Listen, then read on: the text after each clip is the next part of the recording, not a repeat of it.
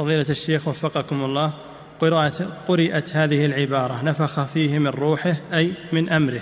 ألا يعد هذا تأويلا لهذه الصفة؟ لا يا أخي ما نفخ فيه من روحه اللي هي من صفة الله عز وجل وإنما هي الروح المخلوقة. ما يمكن أن المخلوق يحل شيء من ذات الله عز وجل. هذا القصد. مثل عيسى روح الله. ليس معناه أنه روح الله التي هي من من من صفاته سبحانه وإنما روحه المخلوقة التي أرسل بها جبريل. أرسل بها جبريل فنفخها في مريم.